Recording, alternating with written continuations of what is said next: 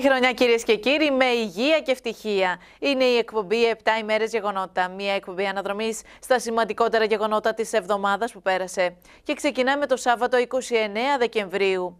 Αυξημένα τα ποσοστά εθολομίχλη στην Πάτρα, ιδιαίτερα τις τελευταίες εβδομάδες λόγω της λειτουργίας των τζακιών. Στο ρεπορτάζ θα δείτε ποιες περιοχές της πόλης έχουν επιβαρυνθεί περισσότερο. Αποπνικτική είναι η ατμόσφαιρα σε αρκετές περιοχές εκτός κέντρου των πατρών, καθώς το φαινόμενο της εθαλομίχλη καλά κρατεί.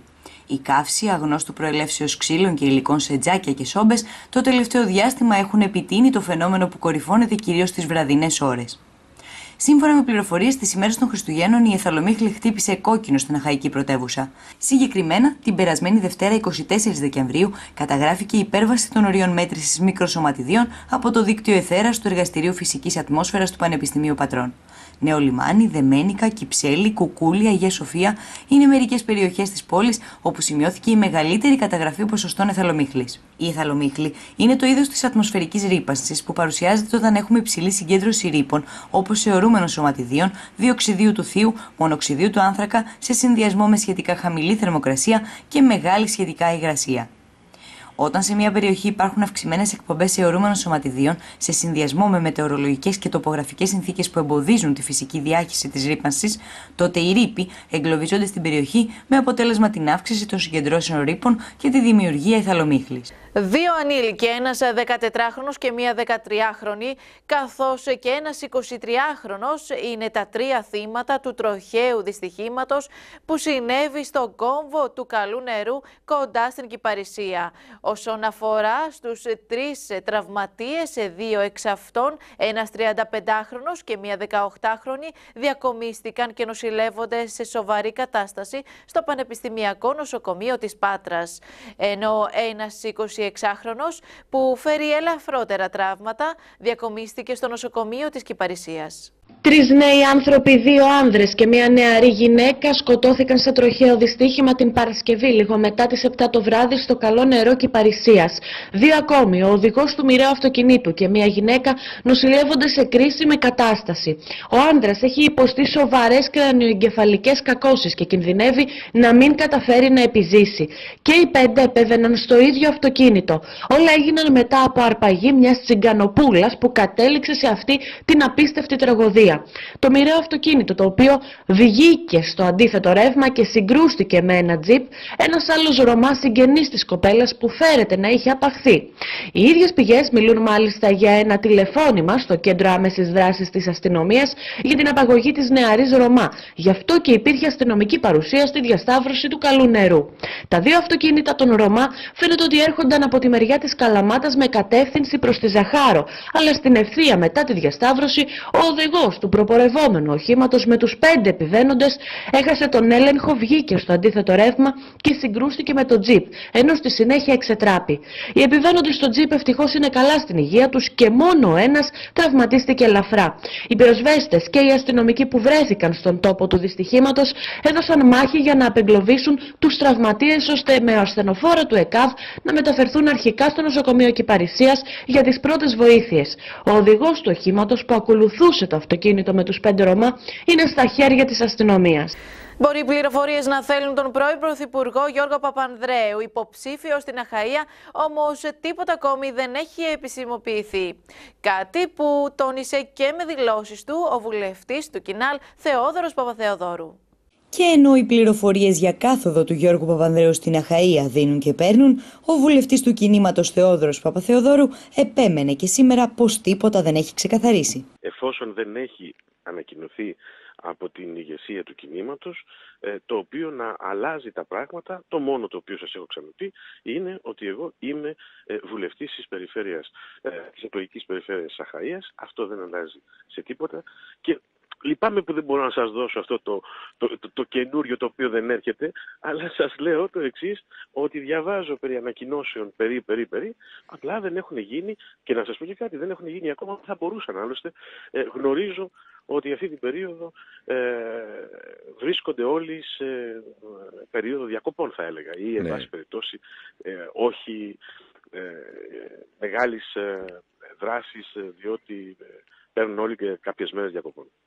Μιλώντας στον Max FM, τόνισε πως δεν υπάρχει επίσημη ανακοίνωση και είναι κάτι το οποίο θα ξεκαθαριστεί τις προσεχείς εβδομάδες. Το θέμα της ε, ε, τοποθέτησης σε ορισμένες εκλογικές περιφέρειες ε, ή τη συμμετοχής καλύτερα σε ορισμένες εκλογικές περιφέρειες ε, συγκεκριμένων προσώπων. Το χειρίζεται η κυρία Γεννηματά δεν έχει υπάρξει αυτή τη στιγμή καμία ε, δική της ανακοίνωση ούτε συνάντηση, επομένως ε, τα πράγματα δεν έχουν καμία εξέλιξη από την τελευταία φορά που είχαμε μιλήσει.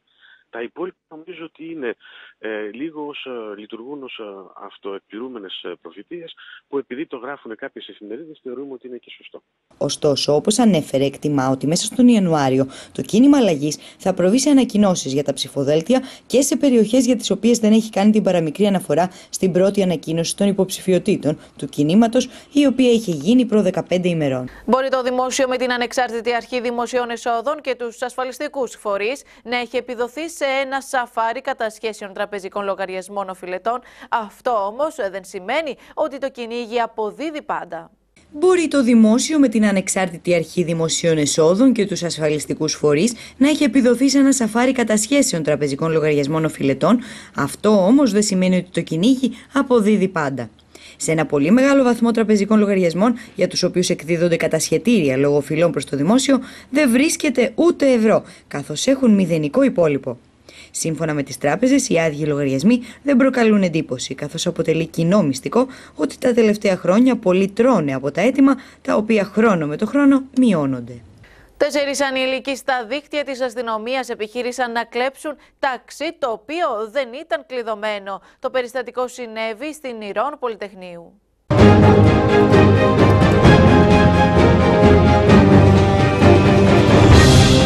Φίλο και φτερό έκαναν χθες τη νύχτα ένα μάξι στην οδό Ιρών Πολυτεχνείου στην Πάτρα τέσσερις ανήλικοι. Βρήκαν το αυτοκίνητο ανοιχτό, καθώς ο ιδιοκτήτης του το είχε σταθμεύσει προσωρινά και δεν είχε μεριμνήσει να το κλειδώσει και δεν άφησαν μέσα πραγματικά τίποτα από ό,τι μπορούσε να μετακινηθεί. Μέχρι και το τηλεφωνικό είχαν πάρει. Αμέσως ειδοποιήθηκε η αστυνομία, η οποία εντόπισε μετά από λίγο τους τέσσερις ανήλικους και τους συνέλαβε. Είχαν πει να κάνουν πρωτοχρονιά με κλοπημαία, αλλά τελικά δεν τα κατάφεραν. Στάθηκαν άτυχοι γιατί εντοπίστηκαν σχεδόν αμέσως και έπεσαν στα δίχτυα της αστυνομίας. Η Ποηδίν καταγγέλει πω με την απόγληση των 600 γιατρών αναμένεται να κλείσουν τουλάχιστον 40 ατόμοι που είχαν αναρτηθεί στα κέντρα υγείας αστικού τύπου. Προβλήματα αναμένεται να παρουσιαστούν και στο ΙΚΑ Αγίου Αλεξίου. Η αρχή της νέας χρονιάς θα βρει τα κέντρα υγείας αστικού τύπου άδεια από γιατρούς. Μόνο στο κέντρο υγείας αστικού τύπου Αγίου Αλεξίου φεύγουν 10 γιατροί. Με ανακοίνωσή της η να παραθμεί επιπλέον 600 γιατρούς που απολύονται από τα κέντρα υγείας αστικού τύπου. Όπως αναφέρει, η κυβέρνηση τέσσερα χρόνια τώρα που ίσχυε το μεταβατικό στάδιο εργασίας δεν έκανε απολύτως τίποτα για να επιλύσει το ζήτημα. Η μέρα με την ημέρα, όπως λέει η Ποεδίν, όλο και πιο πολύ δικαιωνόμαστε για την εκτίμησή μας ότι το εγχείρημα της κυβέρνησης για την πρωτοβάθμια περίθαλψη, που είναι μνημονιακή δέσμευση και όχι αριστερή πολιτική, θα καταρρεύσει, αναφέρει χαρακτηριστικά η ανακοίνωσή της. Και συνεχίζει. Με την απόλυση 600 γιατρών αναμένεται να κλείσουν τουλάχιστον 40 ατόμοι οι οποίοι είχαν αναρτηθεί στα κέντρα υγείας αστικού τύπου. Γιατρούς ειδικοτήτων που ζητάει ο πολίτης δεν τους βρίσκει διότι δεν έχουν διοριστεί εδώ και ε, δύο-τρία χρόνια τουλάχιστον. Ναι, ναι. Όποιοι διορίζονται τους χάνουμε ως διαμαγείας γιατί πηγαίνουν να καλύψουν ε, ανάγκες ε, άλλων δημόσιων δομών, νοσοκομείων στην περιφέρεια, εφημερίες. Θέλετε να σας πω χτυπητό παράδειγμα. Ρευματολόγος έληξε η σύμβασή του. Ναι. Δύο χρόνια παρακολουθούσε, τουλάχιστον δύο χρόνια παρακολουθούσε πολίτες με χρόνια νοσήματα. Πού θα πάνε αυτοί, πού θα απευθυνθούν, σε ιδιώτες, αν έχουν να πληρώσουν; Σε συμβεβλημένους του ΕΟΠΗ, Εάν είναι ασφαλισμένοι, αν είναι ασφάλιστοι, πού θα πάνε; Και περνάμε στην Κυριακή 30 Δεκεμβρίου. Στα φόρτετη στην Κυριακή αγορά της Πάτρας, οι καταναλωτές ξεχύθηκαν στο κέντρο για τα ψώνια εν ώψη πρωτοχρονιάς. Σαφώς, βέβαια, η κίνηση ήταν μικρότερη από αυτή των Χριστουγέννων, όμως οι έμποροι είδαν και πάλι τα ταμεία τους να γεμίζουν. Στις τελευταίες ώρες ελπίζουν οι καταστηματάρχες να γεμίσουν τα ταμεία τους, αν και είναι δύσκολο να κερδίσουν μερίδιο από το εισόδημα των καταναλωτών, καθώς τα μέτωπα των υποχρεώσεων είναι πάρα πολλά. Πάντως και σήμερα το κέντρο της Πάτρας ήταν γεμάτο και με μεγάλη δυσκολία μπορούσε κάποιος να περπατήσει, ιδιαίτερα σε πεζοδρόμους. Η αγοραστική κίνηση όμως στα καταστήματα ήταν κάπως περιορισμένη σε σχέση με τα Χριστούγεννα. Το ωράριο των καταστημάτων συνεχέ. Αύριο, παραμονή της πρωτοχρονιάς από τις 9 το πρωί μέχρι τις 8 το βράδυ θα είναι όλα ανοιχτά. Ωστόσο, δεν είναι λίγοι οι καταναλωτές που περιμένουν την εκδοτική περίοδο, η οποία έρχεται με τον καινούριο χρόνο. Τελευταίο διήμερο το βλέπουμε με αισιοδοξία. Αυτό μας δίνει το δικαίωμα να το δούμε αισιόδοξα οι προηγούμενες ημέρες. Υπάρχει ροή και καταναλωτών, πολιτών, οι οποίοι κατεβαίνουν στην ε, αγορά, ε, κάνουν την ερευνά τους, ήδη την έχουν κάνει και ψωνίζουν. Πιστεύουμε ότι όσοι πήραν το 13ο μισθό, τα επιδόματα που πήραν κάποιοι και οι ενισχύσεις οικονομικές έδωσαν τόνωση και ανάσα στην αγορά και πιστεύουμε να ξεκινήσει με τις καλύτερες προοπτικές και το 2019. Στο μεταξύ στους δρόμους είχαν βγει και η ράμπο της εφορίας. Οι έλεγχοι επικεντρώνονται σε εμπορικά κέντρα, υπαίθριες αγορές, εστιατόρια, νυχτερινά μαγαζιά και στα μεγάλα ξενοδοχεία. Την ίδια ώρα αυξάνονται οι καταγγελίες για τη λειτουργία των ποναμάδων. Μάλιστα, υπήρξε κατάσχεση εμπορευμάτων. Α ακούσουμε τι δήλωσε ο πρόεδρος της Ομοσπονδίας Εμπόρων Πελοποννήσου, Γιώργος Βαγενάς. Όπως πάντα, όλα αυτά τα χρόνια, αυτά που λέγαμε, αυτά συνεχίζουν και ισχύουν. Οι άδειες είναι 50, 60, 70, 40, κανείς δεν ξέρει πόσες είναι. Ε, μέχρι εκεί πάντως και είναι υπερδιπλάσιοι οι πάγοι που υπάρχουν. Μόλις τώρα ήρθε η αστυνομία από ό,τι έμαθα και εγώ πριν λίγο μαζέψανε κάποιους που δεν είχαν άδεια και πουλάγανε παπούτσια. Το δε είδη που πουλάνε βλέπετε ότι δεν έχουν καμία σχέση με την άδεια που έχουν εγκριθεί. Η άδεια έχει εγκριθεί και είναι για είδη δώρων, χριστουγεννιάτικα είδη μποναμάδες. Καμία σχέση γιατί πουλούν από κάλτσες και παπούτσια μέχρι νυχτικά και φασόλια. Αν αυτό συνάδει με την πόλη, με αυτό που θέλουμε να δημιουργήσουμε αυτές τις μέρες, με τις εκδηλώσεις που κάνουν οι φορείς, ο Εμπορικός Σύλλογος, με τις ορχήστρες ε, τις νεανικές της τοπικού χαρακτήρα που είναι από εδώ από την πόλη μας. Αν αυτό συνάδει με το κλίμα της πόλης, δυστυχώς εμείς θεωρούμε ότι είναι απαράδεκτο. Ε, ας έρθει και η επιθεώρηση εργασίας να δει πώς δουλεύουν, ποιοι δουλεύουν, ας δούνε πού είναι οι άδειες, ας δούνε τελικά πού προσφέρει αυτό το πράγμα στην πόλη. Και το έχετε καταγγείλει, έχετε κάνει καταγγελία στις ε, υπηρεσίες; Όλες τις προηγούμενες χρονιές γινόντουσαν καταγγελίες. Αυτή τη στιγμή όλοι ξέρουν τι γίνεται. Ξαναλέω ότι αυτό το πράγμα δεν έχει κάποιος που να παρκάρει τα φορτηγά. Το βλέπετε ότι είναι όπου να είναι παρκαρισμένα και ρωτάω εγώ, απλές ανάγκες των πολιτών που δουλεύουν μέσα, πού γίνονται. Τουαλέτες υπάρχουνε, πού πηγαίνουνε. Αυτό το πράγμα πρέπει να εκλείψει. Πρέπει να βρεθεί χώρος που να στεγάζει κατάλληλα αυτούς τους ανθρώπους να κάνουν και αυτή τη δουλειά τους για τις μέρες που πρέπει να κάνουν τη δουλειά τους. Ένοπλη ληστεία συνέβη τα ξημερώματα στο χωριό Μουριά της Αρχαίας Ολυμπίας. Οι τέσσερις δράστες, αφού χτύπησαν τα θύματά τους, άρπαξαν έξι βαλίτσες γεμάτες με χρυσά κοσμήματα. Στη συνέχεια διέφυγαν με κλεμμένο αυτοκίνητο, στο οποίο μάλιστα έβαλαν φωτιά στην περιοχή του Σιμόπουλου. Ένοπλη ληστεία συνέβη στις 4 τα ξημερώματα της Κυριακής στο χωριό Μουριά Αρχαίας Ολυμπίας. Οι τέσσερις δράστες, αφού χτύπησαν το θύμα τους, άρπαξαν έξι βαλίτσες γεμάτες με χρυσά κοσμήματα. Το θύμα είχε έρθει από την Αθήνα για να πάει στους γονείς του και είχε μαζί του τα προϊόντα τα οποία προωθεί μέσω της δουλειάς του, δηλαδή χρυσά κοσμήματα, καθώς φαίνεται ότι θα πήγαινε σε πελάτες στην περιοχή. Οι δράστες είτε παρακολουθούσαν το θύμα είτε γνώριζαν την ύπαρξη κοσμημάτων μεγάλης αξίας.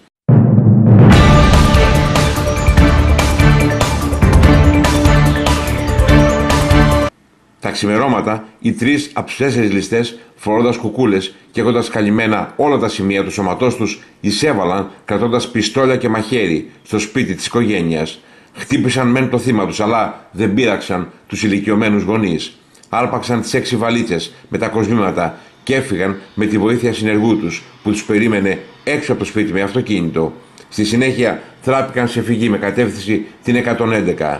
Το όχημα διαφυγής που ήταν κλεμμένο το εγκατέλειψαν στην περιοχή του Σιμόπουλου, όπου και το έβαλαν φωτιά για να σβήσουν τα ίχνη τους. Η αστυνομία διεξάγει έρευνες. Νεκρός 36χρονο πολιτικός μηχανικός από το Αγρίνιο. Έπεσε από στέγη σπιτιού που έχτιζε. Τις εργασίες είχε αναλάβει η τεχνική εταιρεία του πατέρα του. Ένας 36χρονο πολιτικός μηχανικός σκοτώθηκε στο Αγρίνιο μετά από πτώση από στέγη αποθήκης στον Πλάτανο Καλυβίων.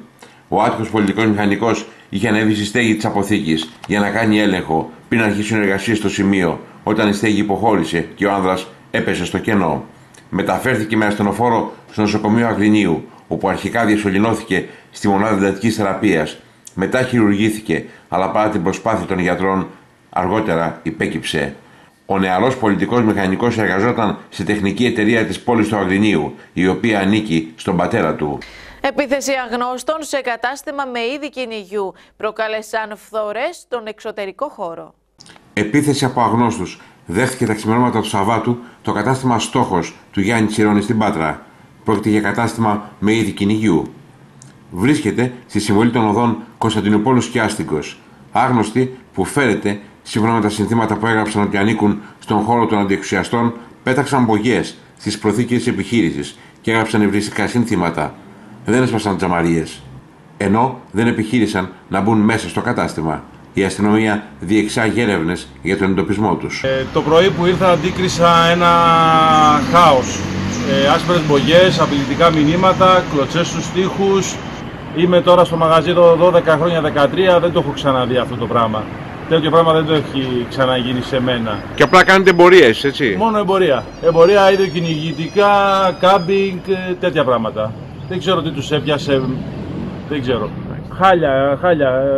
Έχω μιλήσει με την κρατική ασφάλεια, ζήτησα λίγο βοήθεια τα βράδια τα οποία να μας προσέχουν λιγάκι παραπάνω γιατί έχουμε μέσα όπλα.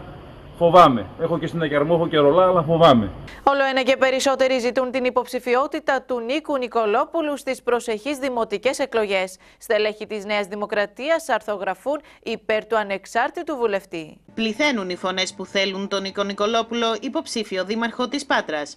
Τρία στελέχη της Νέας Δημοκρατίας, οι συνδικαλιστές Θεόδωρος Κανελόπουλος και Γιώργος Τσιμέκας, αλλά και ο επιχειρηματίας Αντώνης Κουνάβης, δείχνουν τον αρχαίο πολιτικό. Ο ίδιος δηλώνει πως αφουγκράζεται και θα αποφασίσει. Είμαι σε μια φάση που είμαι απελευθερωμένος. Ναι. Που μπορώ να μιλώ με όλους εκείνους που μοιράζονται μαζί μου ίδιες αγωνίες για αυτή την πόλη. Αν πιστεύουν ότι εγώ θα είμαι καλύτερος σκουπιδιάρης, τότε ναι, πραγματικά αν αυτή είναι πολύ να το κάνω γιατί περί αυτού πρόκειται. Ο Νίκος Νικολόπουλος πάντως ξεκαθάρισε πως δεν επιθυμεί στήριξη από κανένα κόμμα ούτε από τη Νέα Δημοκρατία και πως αν θα είναι υποψήφιος επιθυμεί μόνο τη στήριξη του λαού. Εμένα δεν με ενδιαφέρει αυτή η κουβέντα όμως. Μάλλον εκείνου να ρωτήσετε, γιατί εμένα δεν με ενδιαφέρει ο Κυριάκος, δεν με ενδιαφέρει. Ε, καταλάβατε. Και με ποιον θα πάτε, μόνο σας; Εμένα, όχι με τους πολίτες μόνο. Μα καταρχήν δεν έχω εκδηλώσει ενδιαφέρον. Ναι. Είναι ένα μόνιμο ενδιαφέρον, το ενδιαφέρον του πατρινού πολίτη. Και είναι και μια αν θέλετε διαφωνία μου μεγάλη που αυτή την ώρα τώρα, τώρα που έτσι διακόψαμε για λίγο ε, αυτό μοιράζομαι. Μοιράζομαι σκέψεις, ανησυχίες, προτάσεις, προβληματισμούς με συμπολίτες μου και συμφωνούμε στο εξής όσοι είμαστε σήμερα το πρωί εδώ. Ότι δεν μπορεί να έχουμε μια ολοκληρωτικού χαρακτήρα υποψηφιότητα που φτάνει σε μια ε, χωρίς περιεχόμενο προσωπολατρία σε ένα αλάθητο ναι. που απαγορεύει οποιαδήποτε κριτική και πρόταση. Στη, και αυτό το λέω για τον δημαρχεύοντα με τακτικές που παραπέμπουν σε μαύρες και σκοτεινές περίοδους της ιστορίας. Εγώ αρνούμαι αυτό βρε παιδί μου. Αρνούμαι ότι α, ξέρεις πάει βγαίνει ο Πελετίδης. Με ποιον παιδί μου αντίπαλο βγαίνει ο Πελετήρης, με τον κανένα. Και πέραμε στην Δευτέρα 31 Δεκεμβρίου. Ένας νεαρός επιτέθηκε παραμονή πρωτοχρονιάς σε δύο παιδάκια τα οποία έλεγαν τα κάλεντα και τους αφαίρεσε από την τσέπη 30 ευρώ. Στη συνέχεια ο ίδιος έγινε καπνός. Το περιστατικό έγινε στην οδό Γερμανού. Επιτέθηκε σε δύο ανήλικους που έλεγαν τα κάλαντά τους, άρπαξε 30 ευρώ που είχαν στην τσέπη και έγινε καπνός. Το περιστατικό συνέβη στις 10 το πρωί στην οδό Γερμανού. Δράστης, σύμφωνα με όσα δήλωσαν οι δύο μαθητές, ένας νεαρός Ρωμά, ο οποίος ήταν σωματώδης και φυσικά τα δύο παιδιά που έλεγαν τα κάλαντα δεν αντιστάθηκαν. Δεν αντισταθήκατε εσείς. Φοβηθήκατε. Ναι, βασικά ναι, μετά πήγαμε ήρθε ο κύριος που ήταν στο μαγαζί εδώ, μας έβαλε μέσα. Και... Ο άλλος έφυγε ο δράστης. Ναι, έφυγε προς τα... εδώ, έφυγε και κάτω. Έφυγε προς τα κάτω, ε. Ναι. Και πήρε 30 ευρώ όλα, όλα όσα είχατε μαζέψει δηλαδή. Ο δράστης έβαλε το χέρι του μέσα στην τσέπη του ενός και πήρε όλα τα χρήματα. Επί το που έφτασε περιπολικό της αστυνομίας. Ε, τι έγινε; Κατεβαίναμε εδώ πέρα και ήρθε αυτός ο γύφτος. Ε, είχαμε πάνω μας 30 κάτι ευρώ Ήρθε, μας λέει στην αρχή φέρουμε 50 λεπτά και αλλιώς θα σου δώσω δουλειά μαζί. Και μετά έρχεται, μου βάζει το χέρι στην τσέπη, μου τα παίρνει όλα και μου λέει έλα φέρετε τα όλα ό,τι έχετε πάνω σας. Και τα πήρε όλα; Ναι, τα πήρε όλα. Άνδρες της ομάδας Δίας χτένισαν την περιοχή για να εντοπίσουν τους δράστες. Αυξάνονται οι καταγγελίες για την λειτουργία των μποναμάδων. Μάλιστα, η αστυνομία προχώρησε και σε κατάσχεση εμπορευμάτων. Πληθαίνουν οι καταγγελίες του εμπορικού κόσμου της Πάτρας για τα όσα συμβαίνουν με τους μποναμάδες. Όπως δηλώνουν, έχουν δοθεί περισσότερες άδειες, ενώ κανείς δεν ελέγχει τα είδη που πολλούνται. Καταγγέλουν καθεστώς ασυδοσίας, ενώ όπως λένε κάθε φορά ενημερώνουν τις αρχές, αλλά κανείς δεν παρεμβαίνει. Ωστόσο και χθες και σήμερα έγιναν έλεγχοι και μάλιστα η αστυνομία προέβη σε κατασχέσεις κάποιων προϊόντων. Μέχρι εκεί πάντως και είναι υπερδιπλάσιοι οι πάγκοι που υπάρχουν. Μόλις τώρα ήρθε η αστυνομία από ό,τι έμαθα και εγώ πριν λίγο. Μαζέψανε κάποιους οι οποίοι δεν είχαν άδεια και πουλάγανε παπούτσια. Το δε είδη που πουλάνε βλέπετε ότι δεν έχουν καμία σχέση με την άδεια που έχουν εγκριθεί. Η άδεια έχει εγκριθεί και είναι για είδη δώρων, χριστουγεννιάτικα, είδη μποναμάδες. Καμία σχέση γιατί πουλούν από κάλτσες και παπούτσια μέχρι νυχτικά και φασόλια. Αν αυτό συνάδει με την πόλη, με αυτό που θέλουμε να δημιουργήσουμε αυτές τις μέρες, με τις εκδηλώσεις που κάνουν οι φορείς, ο εμπορικός σύλλογος, με τις ορχήστρες, ε, τις νεανικές της τοπικού χαρακτήρα που είναι από εδώ από την πόλη μας, αν αυτό συνάδει με το κλίμα της πόλης, δυστυχώς εμείς θεωρούμε ότι είναι απαράδεκτο. Βιοπαλαιστές είμαστε. Ε, ο λόγος που γίνεται αυτό, άγνωστο.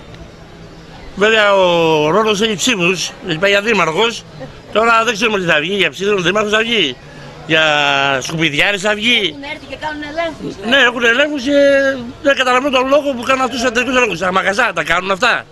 Είμαστε ο, ο σάκος του box εμείς και περιμένουν να βρουν μας εμά να βγάλουν τα σπέρματα δικά τους. Λοιπόν, ας κάτσουν στα αυγά τους και να μα ενοχλούν, παρακαλώ, και να κοιτάξουν τα προβλήματά τους όπως έχουμε λύσει τα δικά μας τα προβλήματα. Εντάξει, τίποτα άλλο. Καλή χρονιά να έχουμε και θα μας αφήσουν στην ησυχία να το δουλέψουμε. Τίποτα άλλο. Ο συλλόγο, κυρία μου, έχουν στήσει κάτω στην πλατεία, αλλά πάνε να κάνει το κομμάτι του. Εδώ, τι δουλειά έχει στον χώρο το δικό μας να έρθει ο εμπορικός σύλλογος να με ελέγξει. Βλέπει κάτι παράνομα; Αν είναι παράνομο, να πάει να τα πάρει. Να στείλει την αστυνομία. Δεν έχει δικαίωμα ο εμπορικός σύλλογος να έρχεται να βγάζει φωτογραφία. Κλιμάκιο εφοριακών όργωσε το κέντρο της Πάτρας. Οι εφοριακοί κατέβηκαν στο κέντρο της πόλης, πήγαν στα καταστήματα ούτως ώστε να ελέγξουν αν όλα είναι νόμιμα και αν τηρούνται αυτά που πρέπει. Συνεχίστηκαν και σήμερα οι έλεγχοι εφοριακών στην Πάτρα. Η παρουσία του κλιμακίου και ο έλεγχος έχει προκαλέσει δυσφορία στους επαγγελματίες, ενώ δεν αποφεύγονται και μικρές διενέξεις. Τα ηλεκτρισμένα πνεύματα φαίνεται ότι κλήθηκε η αστυνομία για να τα ηρεμήσει. Δεν είναι λίγες πάντως οι στιγμές που οι εφοριακοί έρχονται σε δύσκολη θέση δεχόμενοι επιθέσεις. Να υπενθυμίσουμε ότι προ δύο ημερών παρόμοια διένεξη κατέληξε στο τρίτο αστυνομικό τμήμα Πατρών, όπου σχηματίστηκε δικογραφία σε βάρος δύο αγνώστων δραστών που αρνήθηκαν φορολογικό έλεγχο σε υπάλληλο δημόσιας οικονομικής υπηρεσίας. Συγκεκριμένα, πελάτες καταστήματος δεν του επέδειξαν απόδειξη αγοράς προϊόντων, ενώ παράλληλα ο ένας από τους δράστες, σύμφωνα με πληροφορίες, κινήθηκε απειλητικά προς τον εφοριακό, δίνοντάς του χαστούκι. Πάντως οι έλεγχοι θα παραμείνουν σε έντονο επίπεδο λόγω των εορτών, με γνώμονα τη διασφάλιση της δημόσιας υγείας και την προστασία καταναλωτών και επιχειρήσεων από φαινόμενα εσχροκέρδεια και αθέμητου ανταγωνισμού. Δόθηκε τελικά παράταση για την πληρωμή των τελών κυκλοφορίας έως τις 11 Ιανουαρίου. Όσοι τα πληρώσουν εκ πρόθεσμα θα αναγκαστούν να τα πληρώσουν διπλά. Δόθηκε τελικά παράταση για την πληρωμή των τελών κυκλοφορίας. Το Υπουργείο Οικονομικών ανακοίνωσε ότι προς διευκόλυνση των πολιτών παρατείνεται έως και την Παρασκευή 11 Ιανουαρίου 2019 η προθεσμία για την εμπρόθεσμη καταβολή των τελών κυκλοφορίας του έτους 2019, καθώς και για τη θέση των οχημάτων σε εκούσια κινησία. Η ολιγοήμερη αυτή παράταση είναι κάτι που συνηθίζεται τα τελευταία χρόνια, προκειμένου να εξυπηρετηθούν πολίτες που για οποιοδήποτε λόγο δεν πρόλαβαν εγκαίρως να πληρώσουν τα τέλη κυκλοφορίας και να γλιτώσουν το πρόστιμο της εκπρόθεσμης πληρωμής που ισούται με το ποσό των τελών κυκλοφορίας για τους οδηγούς γιοταχή, επιβατικών και δικύκλων. Δηλαδή, όσοι πληρώσουν εκπρόθεσμα τα τέλη κυκλοφορίας θα πρέπει να τα πληρώσουν διπλά. Η απαγωγή ενός ανήλικου κοριτσιού οδήγησε στο αιματηρό τροχαίο στην Κυπαρισία. Τους νεαρούς κατά δύο και ο πατέρας της 13χρονη. Δύο ανήλικοι, ένας 14χρονο και μία 13χρονη, καθώς και ένας 23χρονο, είναι τα τρία θύματα του τροχαίου δυστυχήματος που συνέβη χθες το βράδυ στον κόμβο του Καλουνερού, κοντά στην Κυπαρισία. Όσον αφορά στους τρεις τραυματίες, δύο εξ αυτών, ένας 35χρονο και μία 18χρονη, διακομίστηκαν και νοσηλεύονται σε σοβαρή κατάσταση στο Πανεπιστημιακό Νοσοκομείο της Πάτρας, ενώ ένας 26χρονο που φέρει ελαφρύτερα τραύματα διακομίστηκε στο νοσοκομείο της Κυπαρισίας. Οι εικόνες στο σημείο της τραγωδίας κόβουν την ανάσα, με τους αστυνομικούς να φοβούνται βεντέτα ανάμεσα στις οικογένειες που εμπλέκονται και να παίρνουν μέτρα. Ο πατέρας της 13χρονη πληροφορήθηκε πως το παιδί του είναι νεκρό στο νοσοκομείο. Ξέσπασε σε λιγμούς και είπε στους γιατρούς πως δεν αντέχει να δει το παιδί του νεκρό. Θα μου το πληρώσουν, ακούστηκε να λέει, με τους νοσηλευτές να προσπαθούν για ώρα μάταια να τον ηρεμήσουν. Με χειροπέδες στα χέρια θρύνούσε για την κόρη του. Ο δικηγόρος της οικογένειας Βασίλης Ταοξής αναφέρει ότι ο πατέρας της 13χρονη που ακολουθούσε πίσω από το αμάξι έχει υποστεί σοκ. Ο άνθρωπος μόλις ενημερώθηκε από τα υπόλοιπα παιδιά του ότι άγνωστοι ήρθαν από το σπίτι και απήγαγαν τη 13χρονη κόρη του, αμέσως πήρε την αστυνομία τηλέφωνο. Και η αστυνομία του συνέστησε να τους ακολουθεί από κάποια απόσταση για να μην χάσει την επαφή μαζί τους και να ενημερώνει παράλληλα την αστυνομία, όπως και έγινε. Στη συνέχεια, η αστυνομία έστησε μπλόκο σε αυτούς που είχαν απαγάγει την κοπέλα και παρά τα νοήματα της αστυνομίας, αυτοί δεν σταμάτησαν. Πέρασαν τον μπλόκο και λίγο πιο κάτω έχασαν τον έλεγχο. Μπήκαν στο αντίθετο ρεύμα με αποτέλεσμα να συγκρουστούν με άλλο αυτοκίνητο. Δεν ήρθε σε επαφή το αμάξι του πατέρα με το αυτοκίνητο που ακολουθούσε σε συνεννόηση με την αστυνομία και όταν πληροφορήθηκε ότι ανάμεσα στους νεκρούς είναι και η κόρη του, ξέσπασε σε κλάματα. Αυτή τη στιγμή είναι υπό ιατρική βοήθεια και παρακολούθηση, προσθέτει ο δικηγόρος της οικογένειας. Και περνάμε στην Τρίτη, 1η Ιανουαρίου 2019.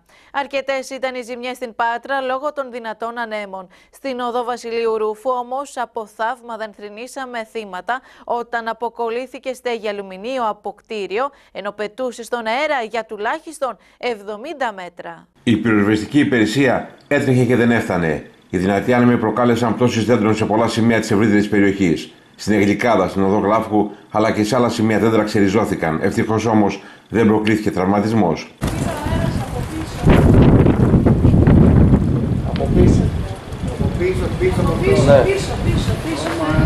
Στην οδό Βασιλείου Ρούφου όμως, από θαύμα δεν θρυνήσαμε θύματα.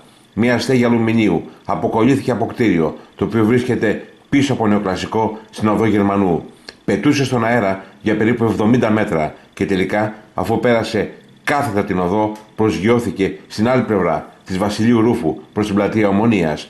Προκάλεσε ζημιές σε πέντε οχήματα, μεγαλύτερες όμως σε ένα.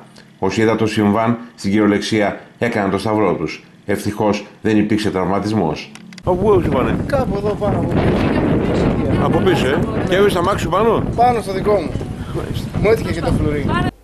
Αναστάτωση επικράτησε στην οδό Κορίνθου όταν άρχισαν να πέφτουν κομμάτια από τζαμαρία. Προφανώς η τζαμαρία έσπασε λόγω των δυνατών ανέμων. Ευτυχώς δεν υπήρξαν τραυματισμοί.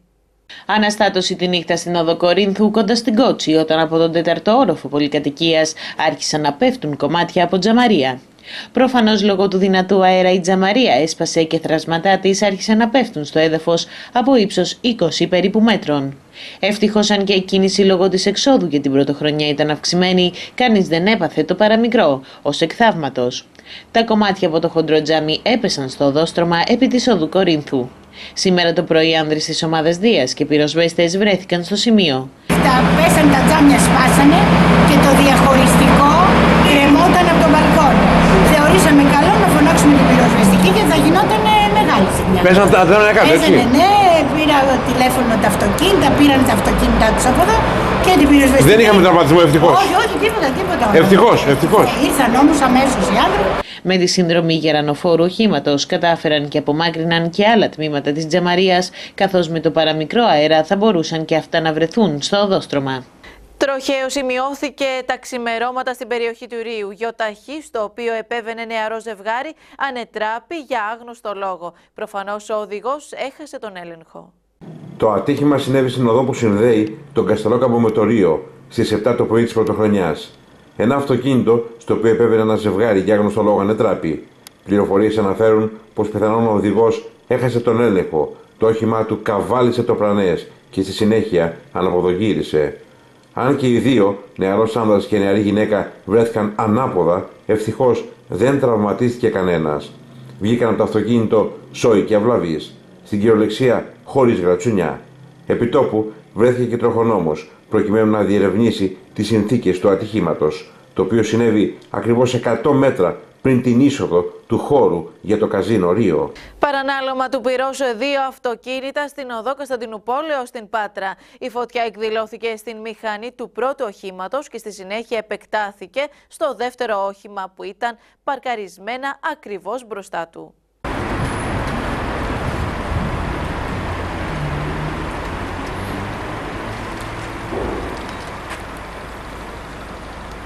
Αναστάτωση προκλήθηκε στους κατοίκους της περιοχής Νόρμαν από φωτιά η οποία αποκλήθηκε τα ξημερώματα της Πρωτοχρονιάς σε δύο σταθμευμένα ογεταχή επί του Κωνσταντινούπολεως κοντά στην Άστιγκος. Στο σημείο έσπευσαν δυνάμεις από την πυροσβεστική υπηρεσία, οι οποίες και κατέσβησαν την πυρκαγιά. Η φωτιά εκδηλώθηκε στη μηχανή του πρώτου οχήματος, άγνωστο πώς, και επεκτάθηκε στο δεύτερο όχημα που ήταν παρκαρισμένο ακριβώς μπροστά του. Και τα δύο οχήματα έχουν υποστεί σημαντικές υλικές ζημιές.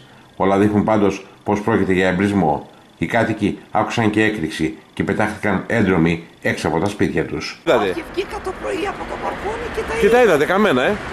Το ξημέρωμα έγινε. Έκρηξη έγινε. Ε, δεν ξέρω. Αμα δεν φαίνεται. Φαίνεται γιατί καήκαν οι πυροσίες του κόσμου. Δεν έλειψαν τα συμβάντα και για το 2019 από την πρώτη κιόλας ώρα σε αστυνομία και πυροσβεστική. Διάρρηξη σε κατάστημα ελαστικών και κοπή δέντρου ήταν οι πρώτες κλήσεις σε αστυνομία και πυροσβεστική μόλις άλλαξε ο χρόνος.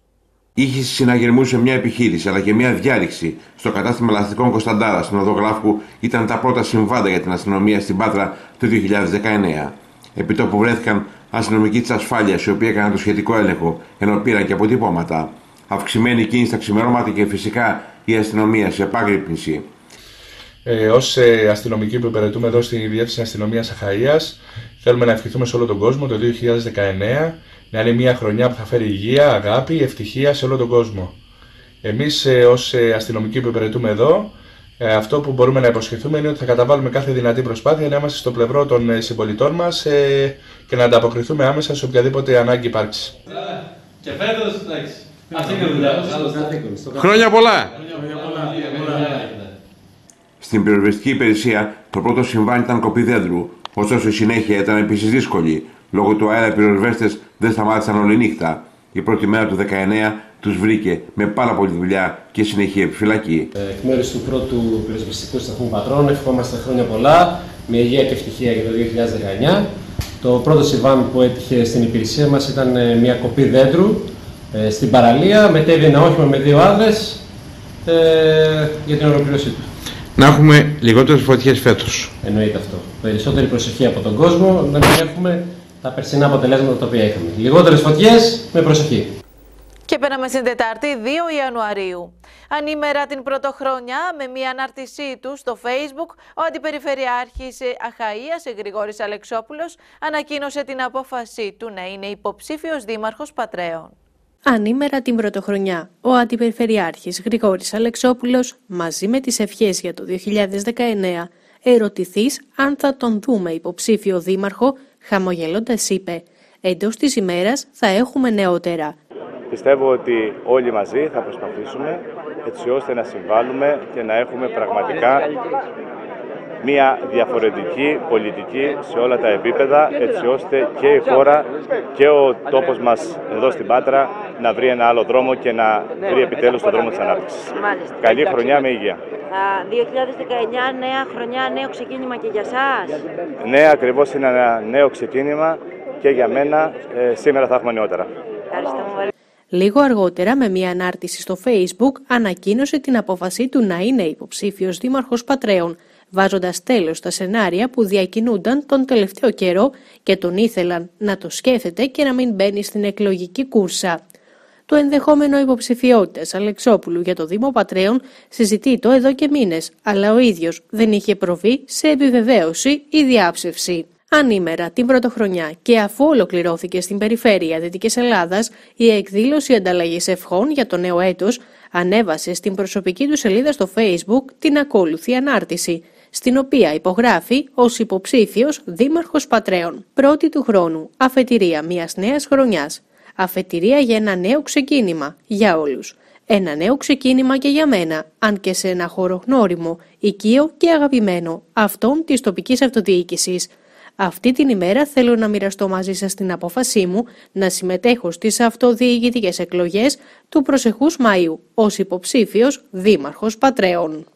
Από τον Φεβρουάριο του 2019, περισσότεροι από 150.000 μισθωτοί του ιδιωτικού τομέα ηλικίας κάτω των 24 ετών θα δουν αύξηση στο μισθό τους που θα ξεπερνά το 20%. Από τον Φεβρουάριο του 2019, περισσότεροι από 150.000 μισθωτοί του ιδιωτικού τομέα ηλικίας κάτω των 24 ετών θα δουν αύξηση στον μισθό τους, που θα ξεπερνά το 20%, καθώς θα επωφεληθούν από την κατάργηση του υποκατώτατου μισθού το 2019, αλλά και από την αύξηση του κατώτατου. Συνολικά, η επικείμενη αύξηση του Ιανουαρίου αναμένεται να επηρεάσει άμεσα ή έμεσα τουλάχιστον 400.000 μισθωτούς που λαμβάνουν σήμερα 586 ευρώ το μήνα ή και ακόμη λιγότερα. Ειδικά για τους υπαλλήλους κάτω των 25 ετών, η αύξηση θα είναι θεαματική, άνω του 15 έως 20%, καθώς θα οδηγηθούν από τα 510 ευρώ μεικτά στο νέο κατώτατο που θα ισχύει για όλους χωρίς ηλικιακές διακρίσεις. Σύμφωνα με τα στοιχεία του συστήματος Εργάνη, 153.827 μισθωτοί, δηλαδή το 8% του συνόλου των ιδιωτικών υπαλλήλων, ήταν το 2018 ηλικίας έως 24 ετών. Παράλληλα, 216.150 εργαζόμενοι αμείβονται σήμερα με μισθούς 500 έως 600 ευρώ, ενώ τουλάχιστον άλλοι 200.000 εργαζόμενοι εργάζονται με μερική απασχόληση και υπολογίζεται πως εισπράττουν μισθό που εξαρτάται από τον κατώτατο ή εμπίπτει στην περιοχή του. Την τελική πρόταση για το ύψος της αύξησης του κατώτατου μισθού θα εισηγηθεί προς το Υπουργικό Συμβούλιο η αρμόδια Υπουργός Έφη Αχτσιόγλου. Δεν έχει τέλος η κρίση στην αγορά εργασίας. Μόνο ο τουριστικός κλάδος έχει θετικό πρόσημο. Οι απώλειες σε θέσεις εργασίας αλλά και σε αμοιβές τα χρόνια των μνημονίων ήταν τεράστιες και το πλήγμα συνεχίζεται σε πάρα πολλούς παραγωγικούς κλάδους όπως αποκαλύπτουν τα αναλυτικά στοιχεία της Ελστάτ. Οι αμοιβές καταρακώθηκαν σε όλους σχεδόν τους κλάδους, με την εξαίρεση των τουριστικών, δραστηριότητες υπηρεσιών παροχής καταλήμματος και υπηρεσιών εστίασης. Όσο για το αναπτυξιακό έτος 2018 δεν έφερε άνοδο στους μισθούς όλων των εργαζόμενων. Σε πολλούς κλάδους οι πιέσεις συνεχίστηκαν, ενώ οι συνολικές απώλειες από την αρχή της κρίσης φτάνουν έως και το 60% αλλά και σε όρους απασχόλησης, με πολύ λίγες εξαιρέσεις, τον τουρισμό, αλλά και τις υπηρεσίες παροχής νερού, επεξεργασίας λιμάτων και τις μεταφορές, η απώλεια θέσεων ήταν τεράστια τα χρόνια που προηγήθηκαν. Έφτασαν ακόμη και το 42% με την ανάκαμψη του 2018 να μην τους αγγίζει. Αναλυτικά, στη μεταποίηση που αποτελεί έναν από τους πιο βασικούς κλάδους, η απασχόληση από το 2010 έως το 2018 μειώθηκε κατά 16,9% και φέτος η πτώση συνεχίστηκε κατά 0,2%. Οι ώρες εργασίας περιορίστηκαν περισσότερο λόγω της μείωσης της παραγωγής την οκταετία με μηδενική άνοδο πέρυσι, ενώ η πτώση στις αμοιβές ήταν πολύ μεγαλύτερη. Στον τουρισμό καταγράφεται η μόνη εξαίρεση, Στις δραστηριότητες υπηρεσιών παροχής καταλήμματο και υπηρεσιών εστίασης καταγράφεται άνοδος της απασχόλησης κατά 87,6% τα χρόνια της κρίσης και κατά 3,4% το 2018. Οι ώρες εργασίας αυξήθηκαν πολύ περισσότερο, κατά 171,1% από το 2010 και κατά 5% πέρυσι. Πάμε να δούμε τις πέντε αλλαγές στη φορολογία που ισχύουν από την 1η Ιανουαρίου. Πέντε σημαντικές αλλαγές στη φορολογία τίθενται σε ισχύ από σήμερα. Πρόκειται για αλλαγές που αφορούν στη φορολογία εισοδήματος νομικών προσώπων αλλά και στα ακίνητα που επιφέρουν σημαντικές μεταβολές στο φορολογικό βάρος χιλιάδων επιχειρήσεων και ιδιοκτητών ακινήτων. Ειδικότερα οι αλλαγές που τίθενται σε ισχύ από 1η Πρώτου 2019 είναι οι εξής επέρχεται αύξηση των αντικειμενικών αξιών των ακινήτων για όλους τους φόρους μεταβίβασης σε περίπου 4.000 ζώνες του αντικειμενικού συστήματος. Παράλληλα, επέρχεται μείωση των τιμών ζώνης σε περίπου 2.000 περιοχές, ενώ στις υπόλοιπες περίπου 4.000 περιοχές δεν επέρχεται καμία μεταβολή. Οι περιοχές στις οποίες αυξάνονται οι τιμές ζώνης είναι κατά κύριο λόγο τουριστικές, καθώς και περιοχές που τα τελευταία χρόνια η αγορά ακινήτων γνώρισε άνθηση. Μείωση του ένφια, αλλά για μερικές δεκάδες ευρώ κατά μέσο όρο για περίπου 5,4 εκατομμύρια μικροϊδιοκτήτες ακινήτων. Η μείωση θα φανεί στα καθαριστικά του ένφια που θα εκδοθούν τον Αύγουστο του επόμενου έτους. Το μέγιστο ποσό της μείωσης του ένφια ανέρχεται σε 100 ευρώ, αλλά κατά μέσο όρο κάθε ιδιοκτήτης θα έχει μία μείωση της τάξης των 50 ευρώ. Η μείωση του εταιρικού φορολογικού στελεστή από τη χρήση 2019 κατά μία μονάδα, δηλαδή από το 29% στο 28%. Ακόμη μία αλλαγή η μείωση του στελεστή φορολόγησης των μερισμάτων από το 15% στο 10% από τη χρήση 2019. Και τέλος, η τιμή της πλαστικής σακούλας, λόγω της αύξησης του σχετικού τέλους, αυξάνεται από τα 4 στα 9 λεπτά του ευρώ. Στον αέρα η κάλυψη των ασφαλισμένων για γυαλιά οράσεως. Πάμε να δούμε το ρεπορτάζ μόνο από καταστήματα οπτικών, τα οποία έχουν υπογράψει σύμβαση με τον ΕΟΠΗ, θα μπορούν με τη νέα χρονιά οι ασφαλισμένοι να αποζημιώνονται για τα γυαλιά ή τους φακούς οράσεω που δικαιούνται, όπως υποστηρίζει η Ομοσπονδία Συλλόγων Οπτικών και Οπτομετρών Ελλάδος. Η ίδια όμως προειδοποιεί πως από 1η Ιανουαρίου 2019 οι ασφαλισμένοι του ΕΟΠΗ θα βρεθούν στον αέρα σε ό,τι αφορά την κάλυψή τους για αγορά γυαλιών οράσεω και άλλων οπτικών ειδών αφού οι οπτικοί που έχουν συμβληθεί με τον οργανισμό ανέρχονται μόλις σε έξι πανελλαδικώ. Σε ανακοίνωσή της, κάνει λόγο για χάος στην αγορά, με αποκλειστική ευθύνη του ΕΟΠΗ και της ηγεσίας του Υπουργείου Υγείας. Σύμφωνα με τους εκπροσώπους των οπτικών, η νέα διαδικασία για τη χορήγηση και την αποζημίωση των οπτικών ειδών με βεβαίωση πληρωμής έχει μείνει στα χαρτιά, καθώς ο ΕΟΠΗ και το Υπουργείο Υγείας προχώρησαν τον Αύγουστο του 2018 στην αλλαγή του τρόπου πληρωμής, χωρίς να προηγηθεί τελική συμφωνία με τους οπτικούς και τους οπτομέτρες. Η Ομοσπονδία συμπληρώνει πως όποιος οπτικός συμβληθεί με τον ΕΟΠΗ θα βρεθεί αντιμέτωπος με διπλό υποχρεωτικό κούρεμα των χρημάτων του μέσω της εφαρμογής του Glowback και του Rebate για να καλυφθούν οι επιπλέον δαπάνες και υποχρεωτικές εκτόσει, χωρίς να ξέρει καν το ποσό που τελικά θα εισπράξει από τα 100 ευρώ της κάθε συνταγής. Στα μαύρα χάλια γειτονιές στην Αγιά ακόμα και τις μέρες των γιορτών. Ακαθάριστα πεζοδρόμια, γεμάτα σκουπίδια, ξερά χόρτα και έπιπλα. Γιορτές μαζί με τα σκουπίδια, τα ξερά χόρτα και τα πεταμένα πράγματα κάθε είδους έκαναν οι κάτοικοι της Αγιάς. Σχεδόν όλοι οι δρόμοι της περιοχής θυμίζουν εγκατάλειψη και αδιαφορία των αρχών. Διασχίσαμε ένα μόνο τετράγωνο και οι εικόνες που καταγράψαμε αποκαλύπτουν τα λεγόμενα των πολιτών. Οδός Αμερικής, κάδια απορριμμάτων και κάδια ανακύκλωσης παρέα, με πλαστικά, έπιπλα και σκουπίδια απλωμένα από άκρη σε άκρη του πεζοδρομίου. Αυτή η κατάσταση κρατά χρόνια, λένε οι άνθρωποι που μένουν σε διπλανές πολυκατοικίες. Ακριβώς απέναντι από το 53ο νηπιαγωγείο της Πάτρας η κατάσταση δεν είναι καθόλου καλή, καθώς στους κάδους απορριμμάτων τα σκουπίδια δεν βρίσκονται εντός, αλλά βρίσκονται εκτός όπως μπορείτε να δείτε. Πλαστικές σακούλες, καναπέδες, σπασμένα γυαλιά, κάτι το οποίο σίγουρα δεν αρμόζει σε μια γειτονιά που βρίσκονται μικρά παιδιά. Λίγο πιο κάτω, οδός Αχιλέα Παράσχου 2. Εκεί ξεκινάμε από κλαδιά που πλέον έχουν ξεραθεί, καθώς παραμένουν στο σημείο για περίπου δύο μήνες μαξιλάρια και απορρίμματα.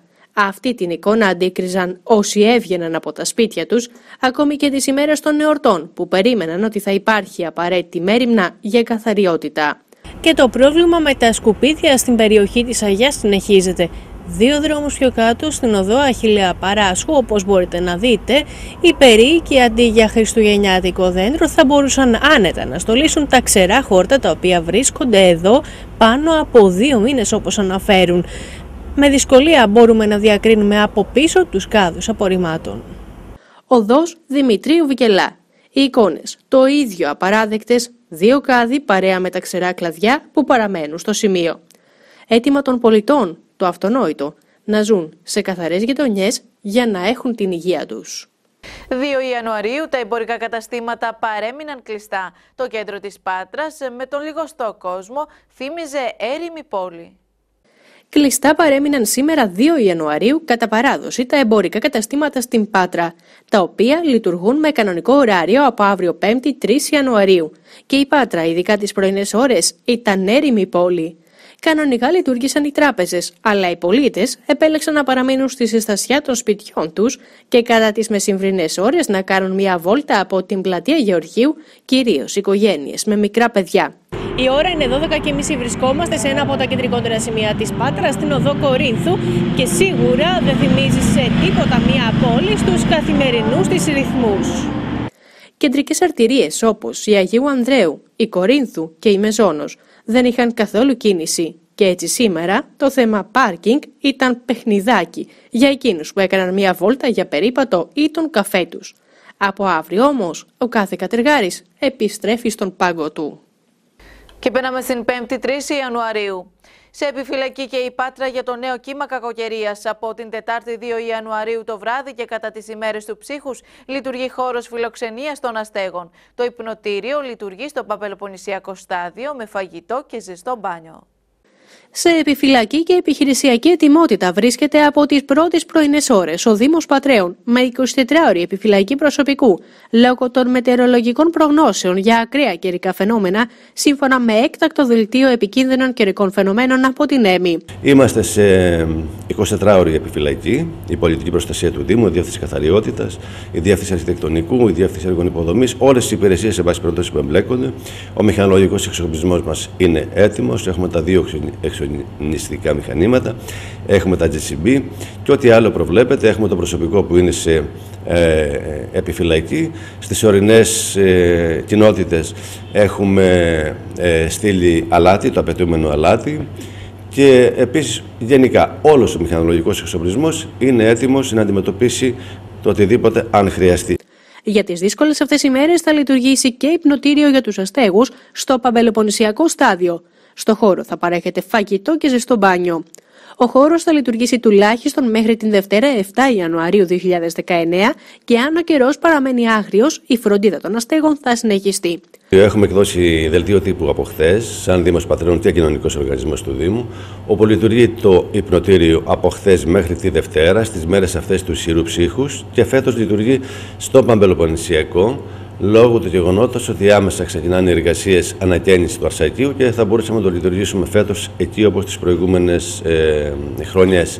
Καλούμε τους δημότες μας, όποιους γνωρίζουν ότι είναι άστεγους και οι υπηρεσίες του Δήμου βγαίνουν και την ημέρα και τα βράδια, μήπως εντοπίσουν κάποιον στη δημότη μας άστεγο, όπου τον μεταφέρουμε στην Μιαούλη το βράδυ, 8 μέχρι 10, και στη συνέχεια με ε, αυτοκίνητο του Δήμου τους μεταφέρουμε στο Παπελοποννησιακό στάδιο προκειμένου να τους φιλοξενήσουμε.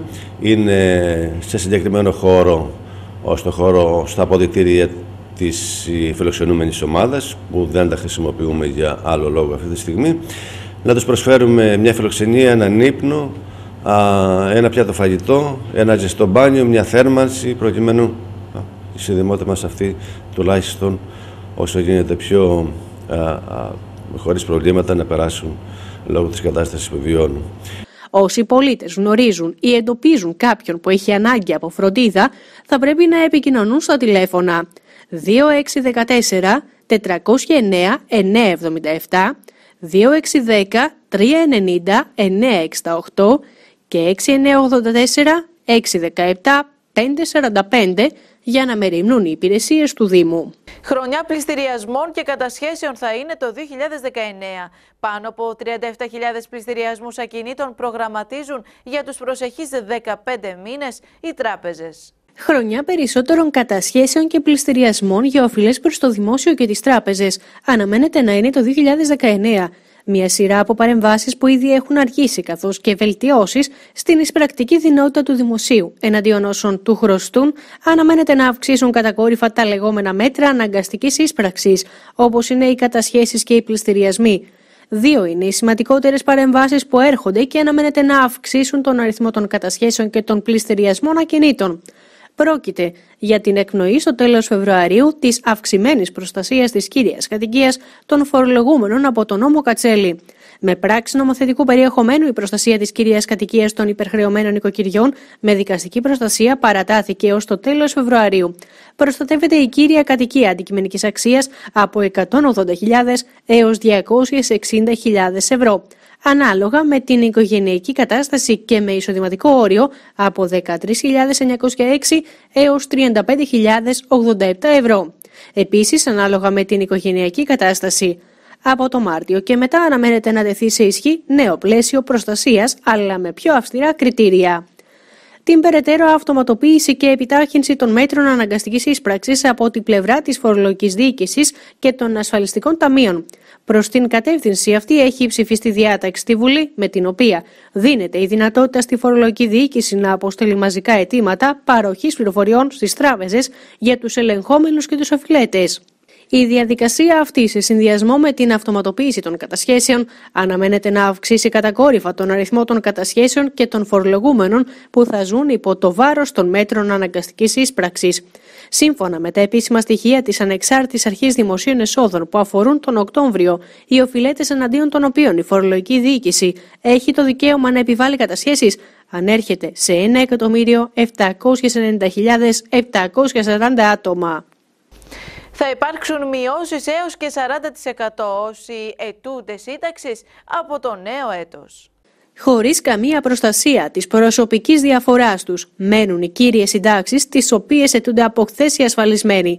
Και αυτό γιατί ο νόμος Κατρούγκαλου προβλέπει πως μόνο όσοι ετηθούν σύνταξη έως 31 Δεκάτου 2018 θα έχουν προστασία της αρνητικής προσωπικής διαφοράς τους, εφόσον αυτή ξεπερνά το 20%. Δεν προβλέπεται όμως καμία προστασία της αρνητικής προσωπικής διαφοράς των νέων συντάξεων, τις οποίες ετούνται ασφαλισμένοι από 1η Πρώτου 2019 και οι οποίες μετά τον υπολογισμό τους με βάση τον νόμο Κατρούγκαλου καθίστανται πάνω από 20% χαμηλότερες σε σχέση με το επίπεδο το οποίο θα είχαν αν υπολογίζονταν με βάση τις διατάξεις που ίσχυαν πρώτου νόμου.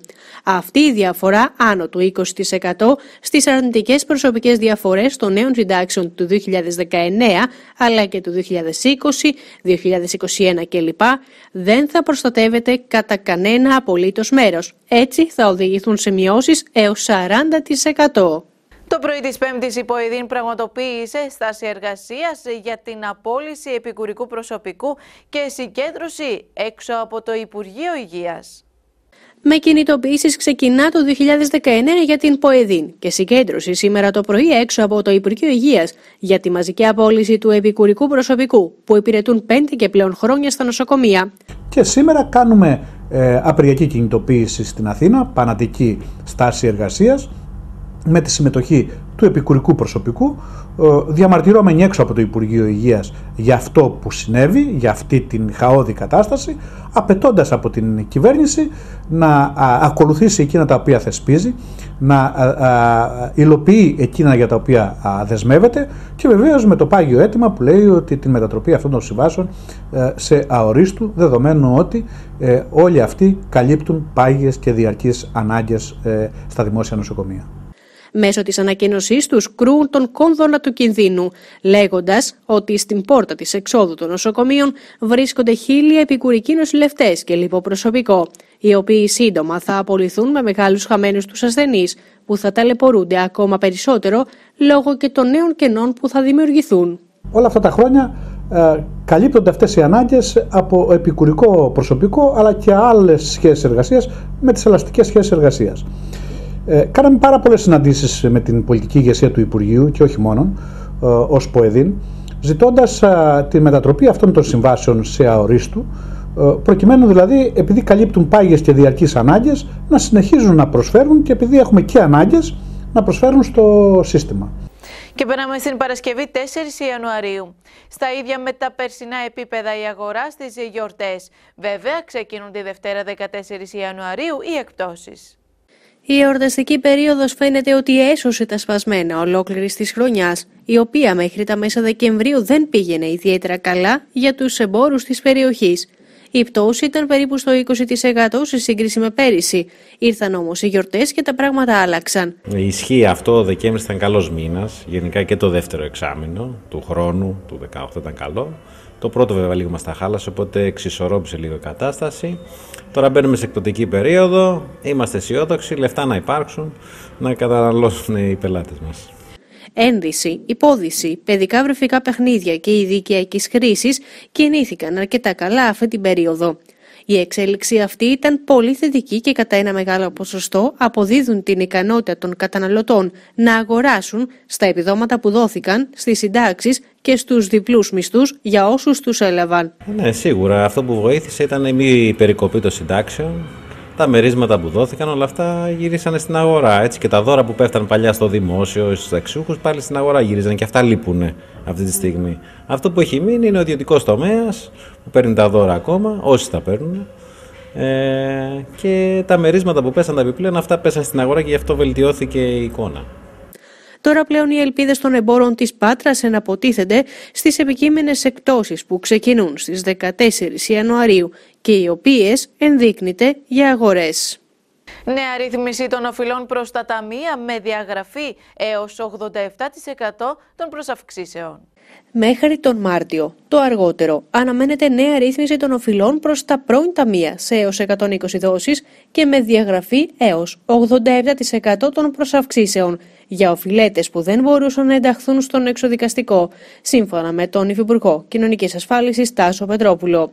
Όπως σημείωσε ο Υφυπουργός, το ύψος της οφειλής θα μειωθεί πολύ, διότι θα υπολογιστεί με βάση το σημερινό σύστημα των εισφορών, σύμφωνα με τους κανόνες που ισχύουν πλέον στον ΕΦΚΑ.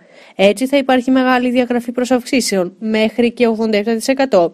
Η Υπουργός Εργασίας Εφη Αξιόγλου σε πρόσφατες συνεντεύξεις της είχε αναφέρει ότι η νέα ρύθμιση θα προβλέπει κούρεμα ακόμη και της αρχικής οφειλής. Σύμφωνα πάντως με τον κύριο Πετρόπουλο, η ρύθμιση θα αφορά οφειλές που έχουν βεβαιωθεί έως 31 Δεκάτου 2016 και είχαν δημιουργηθεί λόγω του παλιού συστήματος των εισφορών, το οποίο παρήγαγε οφειλέτες. Όπως ανέφερε, θα υπάρχει κλιμάκωση ανάλογα με το ποσό και την ηλικία του οφειλέτη, ειδικά για τη λήψη της σύνταξης. Θα υπάρχουν αυστηρά κριτήρια για ένταξη στη νέα ρύθμιση, γι' αυτό κανείς να μην σκεφτεί να εγκαταλείψει τις υπάρχουσες ρυθμίσεις. Αντιδρούν οι εμποροϊπάλληλοι στη Λευκή Νύχτα, η οποία θα πραγματοποιηθεί στην έναρξη του Πατρινού Καρναβαλιού. Η Λευκή Νύχτα το βράδυ της έναρξης του Καρναβαλιού 19 Ιανουαρίου έχει αποφασιστεί. Ωστόσο, οι εμποροϊπάλληλοι αντιδρούν έντονα. Δυστυχώς ο κύριος Κατσιφάρα, ο κύριος Αλεξόπουλος, ο κύριος Ρόρος και ο κύριος Παλουπής και ο κύριος Φαρμάκης πήραν μια απόφαση που θίγουν τον κλάδο μας. Θεωρούν το ότι είμαστε δημότες δεύτερης κατηγορίας, το ότι εμείς δεν έχουμε το δικαίωμα να απολαύσουμε την έναξη του καναβαλιού, την οποία την έχουμε πληρώσει και εμείς μέσα από τα δημοτικά τέλη. Θεωρούμε αντιεργατική αυτή την απόφαση. Τους καλούμε να πάρουν πίσω αυτή την ε, απόφαση, η οποία μας θίγει και σαν ανθρώπους αλλά και σαν δημότες. Ε, από ό,τι έχετε δει, όλη η κοινωνία αντιδράσει σε αυτή την απόφαση.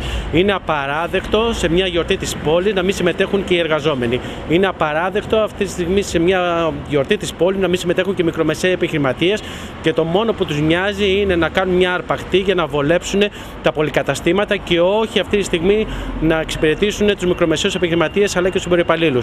Τα καταστήματα θα ανοίξουν στις 9 το πρωί και θα κλείσουν στις 11 το βράδυ, ενώ την επομένη, δηλαδή την Κυριακή 20 Ιανουαρίου, τα καταστήματα είναι ανοιχτά.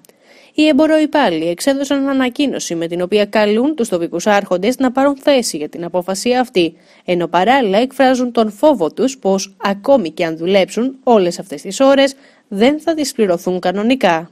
Καλούμε λοιπόν τον κύριο Αλεξόπουλο και τον κύριο Κατσιφάρα αυτή τη στιγμή να πάρουν πίσω την απόφασή τους, να πάμε σε μια έναρξη καναβαλιού ήρεμη, χωρίς κινητοποιήσεις, γιατί αν δεν την πάρουν πίσω, δυστυχώς όλο το εργατικό κίνημα της πόλης μας θα κατέβει στην πόλη και θα έχουμε και γιορτή, θα έχουμε και διαμαρτυρίες. Και είναι λυπηρίο να έχουμε τέτοια εικόνα στην πόλη μας.